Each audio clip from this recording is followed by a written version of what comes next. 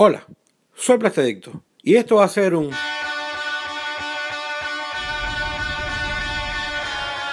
Esta semana Mezco puso la preorden de su figura en Moon Knight para su línea de One Piece Collective sección de Marvel.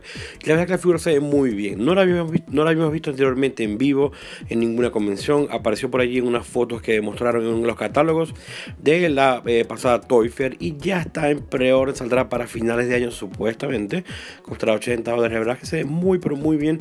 No creo que la quiera porque la verdad es que desconozco mucho el personaje. Pero sé que viene con buenos accesorios.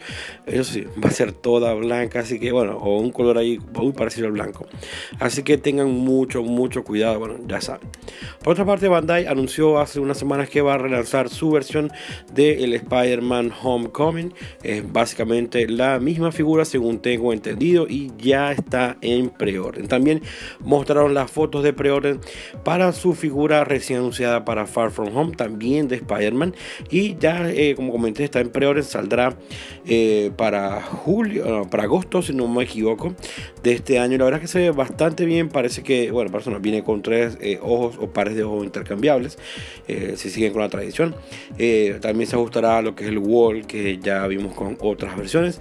Y la verdad es que tiene buenos accesorios. Mm, básicamente parece un retooling o un reacomodo del cuerpo que ya vienen usando, porque tiene varias partes como que diferentes. No estoy muy seguro, pero pareciera por las fotos que las proporciones son diferentes y la disposición de algunas articulaciones como las el torso quizás. Eh, habrá que esperar a que salgan los primeros reviews para ver eh, qué tal están tan cual en diferencias, pero se ve muy bien igual que los anteriores, aunque si no le gustaron los anteriores, espere entonces el Mayfex que seguramente vendrá con eh, su versión. Por otra parte, también mostraron el Spider-Man eh, alusivo a la versión del PlayStation 4 o la primera, el skin más básico, el primero del videojuego. También está en pre-orden. Este será para septiembre de este año. Em, no es web exclusive. Eh, sí, creo que es un poco costoso y puede ser por temas de licencia. Desconozco si Mafex sacará su versión. Este viene también con tres pares de ojos con diferentes tipos de apertura, varios weblines. Y la verdad es que este sí es un cuerpo totalmente diferente. Em, vendrá también con algunos accesorios que desconozco porque, siendo honesto, no he jugado al juego y no me estoy muy interesado. Eh, la pintura se ve bastante bien, un trabajo muy limpio y los colores se ven fantásticos eh, porque he visto imágenes del, obviamente, del skin del videojuego, de la, tal cual como soy el personaje y creo que los colores están acertados. Si me equivoco, me disculparán, no soy el experto, pero me gusta mucho el color blanco como se ve con eh, todo el traje y los colores y todo eso. La verdad es que para los fanáticos del videojuego deben estar muy contentos, aunque esta figura de mm, Figuarts tiene muchos detractores, quizás sería mejor si lo lanzara en Mafex, diría yo, no sé. Como comenté, vendrá con eh, una base, saldrá en septiembre de este año y la verdad es que se ve muy interesante. Eh, espero que eh, me comenten abajo quienes lo vayan a comprar, qué tal les parece. Como comenté, yo no lo voy a comprar, por lo menos por el momento he decidido no hacerlo, así que ya me contarán. Otro que salió en una versión ya como reeditada, pero bueno, no es reeditada, es otra versión, es para Endgame de Figuarts. Eh, bueno, la preorden, esta preorden está para octubre de este año y es una versión web exclusiva. Mentira, la salida es en octubre, la preorden ya está en las páginas o está por ponerse próximamente. Lo que ya salió es esto. Estas tres figuras de Endgame ya salieron. Me hablo de eh, Ant-Man, de Thanos y de la Black Widow. La verdad que se ven muy bien. Eh, hay algunas mejoras, sobre todo en el Ant-Man, que es la misma versión. Pero fíjense lo bien que salió nuevamente el rostro de Scarlett Johansson. Creo que quedó fantástico para esta nueva versión de la Black Widow que vimos en Endgame, lo que vayan a ver en Endgame si la van a ver. El traje, por supuesto, fantástico por el rostro, creo, creo que les ha quedado increíble. Viene con varios accesorios, vendrá con sus bastones, vendrá con armas, un par de rostros que la diferencia no es mucha, mirando para un lado y mirando para el otro, pero es lo que ya hemos visto con las figuras de Black Widow, creo que tienen muchos buenos detalles. Em, no quiero hacer spoilers ni nada, pero se ve bastante bien, de hecho se ve tan bien o mejor que la versión anterior porque esta es un poco más clásica. Con respecto a Thanos, mm, vemos que viene con su armadura, el color del guantelete ha cambiado, viene con tres rostros que aparentemente serán intercambiables las partes adentro del casco, no estoy seguro. el, como el guantelete eh, más amarillo es el de eh, Infinity War y la verdad es que la armadura está bastante bien, viene, vendrá con su arma, varios pares de manos, eh, varios pares de guanteletes también. Se ven muy bien también las gemas allí. Todo muy, muy bien. Fíjense los detalles. El dorado. Eh, me gusta mucho cómo pinta esta figura. Espero que se vea también. No creo que va a ser mejor que la Black Widow. Pero Thanos es Thanos. Fíjense aquí esta expresión súper eh, acorde. Y creo que le servirán. Creo no. Le servirán las cabezas la versión anterior. Si tiene la versión anterior podrán intercambiar las cabezas. Acá una foto eh, intercambiable. Pero una foto comparativa de ambas versiones. Y bueno. En el caso de Ant-Man tenemos la misma figura en esencia que vimos para la versión de Ant-Man de Wasp, pero viene con varios accesorios diferentes. El resto es igual. Viene con esta cabeza de Paul Roth, se ve muy pero muy bien. Pensaría que la parte del cuello también viene con la cabeza. Adicionalmente, en esta versión sí incluyeron los ojos detrás de los lentes, tal cual como lo comenté que hacía falta en el review de la versión de Ant-Man de Wasp. Así que esta versión hay que conseguirla, así haya que vender la versión anterior porque está fenomenal. Creo que es la versión definitiva del personaje. Obviamente, si te gusta este traje más que el de Civil War, a mí me gusta más el Civil War, pero obviamente creo que esta vale mucho la pena y ya la he preordenado. Otra figura que salió esta semana fue eh, ya en Japón, por supuesto, la versión japonesa de el War Machine Mark IV para Avengers Infinity War. La verdad es que es una figura que viene muy resuelta en cuanto a accesorios, se fantástica en cuanto a detalles. La misma gente de eh, Little Toys Bigger World nos ha mostrado aquí unas comparaciones con las otras armaduras y algunas fotos eh, como estilizadas de lo que viene con la armadura y sus detalles. La verdad es que estoy muy ansioso de que esta figura llegue. Esta figura, esta versión que salió este mes de abril es una versión web exclusive de Japón, pero hay una versión estadounidense que saldrá a finales de eh, mayo y es la que yo he conseguido. Así que el review estará por allí como en junio quizás. Eh, sin embargo, vale la pena esperar. Sale un poco más económica y más accesible. Además que el pago no es inmediato porque es distribuida por Bluefin, no es obviamente web exclusive. Y la verdad que se ve muy bien, los detalles de pintura están fantásticos. Creo que las War Machine han salido muy bien a lo largo de la línea de Marvel para eh, Iron Man y Avengers y todo ese tipo de cosas. Y la verdad que estoy muy satisfecho con eh, las imágenes de esta figura. Faltó el camuflaje mm, como pintado, que tenía un ligero camuflaje que se vio en la película. Eh, pero bueno, en cuanto a lo que hay, a lo que está esculpido y pintado, está muy bien, por lo menos viene con buenos accesorios, bien repleto de detalles de pintura, eso sí, no el camuflaje, pero sí otros detalles. Además, eh, las partes rojas y grises están muy bien delineadas según puedo ver en esta opción. Aparte que la espalda viene para eh, una configuración variada, puedes variar varios accesorios porque traen muchas cositas que colocar, armas y todo eso, así que fantástico. Una figura que tengo mucho tiempo esperando es un Boba Fett por parte de Figuarts. De hecho, me resistí al a los Mafex, al Revoltage. Tengo uno, pero es Marvel. Mm, Black Series. Y ya por fin está la preorden de esta figura eh, de Retorno de Jedi, la versión eh, que yo creo que es mi favorita por lo menos, de eh, Boba Fett. Así que ya está por allí en preorden pídanlo si están interesados. Esta figura saldrá para finales de año, así que estén pendientes. Se ve muy, pero muy bien. No creo que sea un totalmente repintado de Django Fett.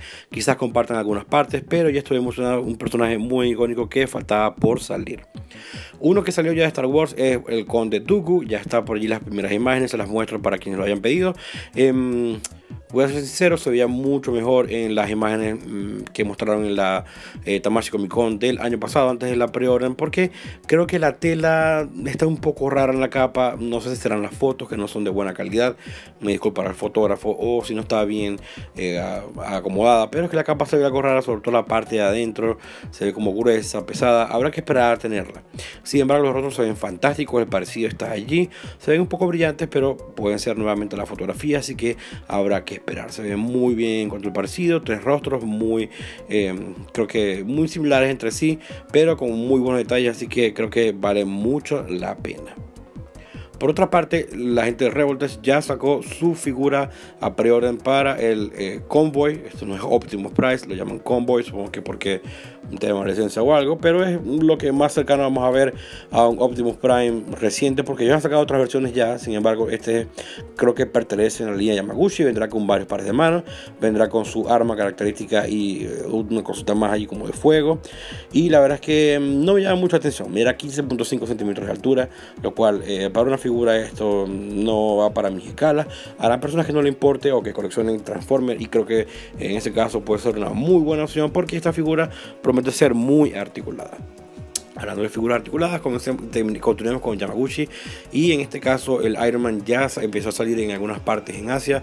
Eh, vemos las primeras fotos del Impact, la se ve fenomenal, me recuerda mucho, fíjense todos los accesorios que trae al Carnage que realizamos hace ya unos meses, el cual fue una figura muy repleta de accesorios. De hecho, eh, viene entrando accesorios que podemos intercambiarlos, podemos colocarles partes de Carnage al Iron Man, como vemos aquí en esta fotografía, y podemos colocarles partes del Iron Man que me parece más interesante al Carnage ya que comparten el sistema de articulación Revoltage para sus eh, apéndices. En este caso, el Man se ve fenomenal, es la armadura Bleeding Edge, para quienes estén preguntándose, ya la pueden eh, conseguir todavía en pre-orden. Si no, esperen unos meses, seguro lanzan una nueva, eh, un nuevo re-release o un nuevo restock en pre-orden y podrán conseguirla a un mejor precio y no pagar un, precio extra porque acaba de salir y esté agotada. Se ve muy, pero muy bien los colores, la articulación se ve bien. Hay mucha gente que no le gusta este tipo de diseños para estos personajes eh, de este lado del mundo, pero a mí me parecen bastante interesantes, algo diferente.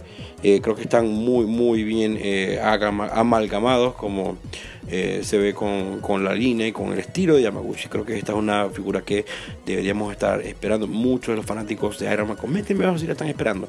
A mí me encanta, pero he leído mucha gente que no. Continuamos con Mafex y es que anunciaron que van a lanzar una versión 1.5, se lo han llamado, de su versión también Homecoming de Spider-Man. Esta vendrá con un rostro adicional, con máscara y un retooling de la versión, la versión sin máscara. Fíjense que tiene unos ojos más cerrados. Y la parte eh, sin máscara viene con el cabello aparentemente diferente y esperemos que venga de mejor calidad. Por otra parte, también vimos la semana pasada imágenes de promocionales del Shazam, eh, escaneadas de una revista por allí. Y esta semana ya han salido las imágenes oficiales. De hecho, las figuras ya están preórdenes para febrero de 2020.